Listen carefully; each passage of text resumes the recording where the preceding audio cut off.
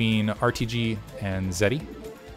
Instead of, maybe I should just go by Ciudadu. It's a fun name. This is Power Bond, 6 o'clock location. We have RTG as the yellow Terran, upper left-hand corner. We have Zety as the gray Zerg. I kind of like gray Zerg. I don't know. Power Bond, one of these maps, again, I haven't seen in a long time. Uh, natural expansion here. Again, kind of a wide open natural.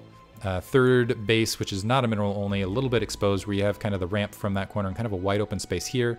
And kind of a, a sometimes you'll see players skip this expansion and go for this base if I recall. I haven't, again, I have to like, this is me channeling like, do I remember watching these matches? Um, remember, I think Nada playing on some of these. I might be wrong in that. This is where I can't rely on my memory. Upper left-hand corner, you have kind of this double ramp thing. 12 o'clock location, you have a mineral only. Uh, and then it's a three-player, uh, what's that word for it? ISO, it's not isometric. Isolinear? Something like that. Point being, yeah, and you got these cool kind of latent command centers, and the, there's the command center in the middle of the map, and kind of, you can see the cool feature on the mini-map. Point being, I don't think this is an active ladder map. Not an active ladder map, but it's one of those maps that, uh, yeah, creates a lot of interesting games. It's a large, you know what's kind of unusual is it's a large three-player map. It's a three-player map that has like a big distance between spawns, which is unusual. And in that way, it reminds me a little bit of Tau Cross. We are seeing once again an overpool here for Zety. We'll see if he has more success here on map two. Um, I'm almost wondering if he's going to opt to not go Mutalisks, because again, I have to feel like between Peru and Germany, these guys are facing a, a lot of lag. Barracks being built for RTG, not actually sealing his front door.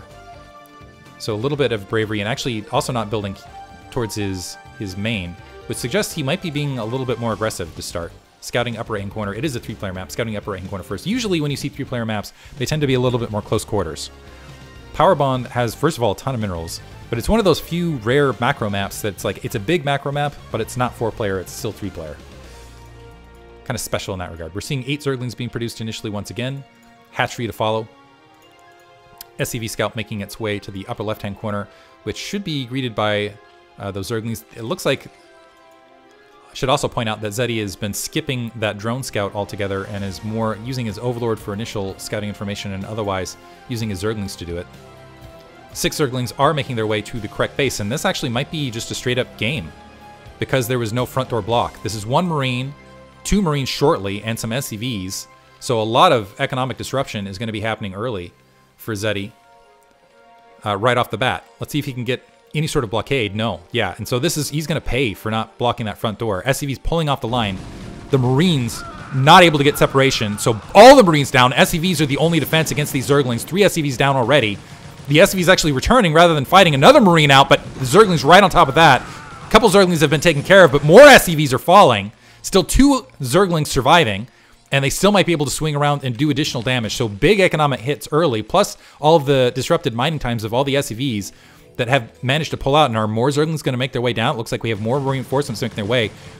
More Zerglings getting additional kills. Looks like the SCVs have managed to pin those Zerglings on the mineral line, but this is still a lack of mining time, and that was a lot of SCV losses, plus a huge lack of mining time. Still three SCVs blocking the ramp and two Marines right there. And this is not a situation you want to be in as a Terran player. Look, another SCV coming out. There's still just two Zerglings making their way across. It looks like they're going to go ahead and back off. If Zety actually just... Uh, so Zety might have just been able to win the game outright. It's going to go ahead and back off. Second barracks being produced. Game's not fully over yet, but RTG is in a terrible situation. All of that lost mining time, just now getting a second barracks up, only has three Marines on the ground, is still having to lose some mining time of these two SCVs uh, doing a blockade. I guess I'm not sure what the logic was behind the lack of blocking the ramp. Uh, we are seeing three hatch play comparatively and a lair as well. And I'm wondering if this is just going to be a transition into three hatch Zergling. We'll see if we see the drones pull off gas. Never mind, he's going up to lair. Derp, lair's halfway finished. So probably, I would expect Lurker, honestly, given game one. Creep Colony planting down because we do see the five Marines moving out. Killed a couple of those Zerglings along the way. That should be plenty. This plus the Zerglings uh, with a Creep Colony, and again, this is a huge distance map, should be plenty. Another Zergling getting popped along the way. RTG, actually, he's to, with this pressure, this is dangerous. Okay, a little bit of a fake. I like that play. So RTG's like, okay, I'm to move the Marines out because I suspect he, with that SCV, he saw that there weren't a lot of Zerglings or defenses on the ground. So he forces the, the creep colony, which is at least a small economic win, right? And uses that time and pressure to go ahead and get his command center up. Zergling speed is being upgraded. We do have that lair up and we have that spire as well. With all of that economic delay, the academy is up. I expect that engineering bay to be pretty late, and we'll see what RTG. And keep in mind that marine count is also a little bit lower than it would have been comparatively, although he does have what looks like uh, kind of a full complement here, getting that bunker, building it fairly close to that command center, so that might provide a little bit of support. But honestly, between a hand, enough Zerglings and enough Mutalisks, Zety might be able to die. But he's going in on top of the bunker before that bunker's even filled, wiping out the rest of the Marines, and he's going to run right into the main. Wow. So Zety getting the run by, the Marines not blockading, actually working on the barracks, more SCVs pulling off the line, actually might be able to disrupt the Academy. The Academy is not finished as well. And actually working on that Academy, backing off the rest of the Zerglings, but keep in mind, Mulisks are going to be on the way shortly. Zety looks like he is probably going to take game two. Probably going to take game two. Working on Stim right here. You need Stim against those Mutalisks. And the, the bunker actually empty, so these Zerglings might even be able to just run back out if they want to, but it looks like they're going to keep this Marine count low, so these Mutalisks are going to be even stronger. And honestly, as soon as the Mutal, I expect a GG from RTG, as soon as the Mutalisks make their way into the base, we do see six in production already. Oof. So nothing going right for RTG this game. Now bring some SCVs on the, on the line just to provide a little bit of defensive blockade, moving another SCV to scout just to see what he's up against comparatively. But he's up against eight Mutalisks that are becoming uh, going to be just ramming down his throat shortly. His engineering bay has just started, which is, yeah, when the Mutalisks are already in production, if you're just starting your engineering bay, not a good situation. And I'm almost wondering, once he sees these Mutalisks in the air, if you just GG right there. No, okay, so he's going to try to fight it out.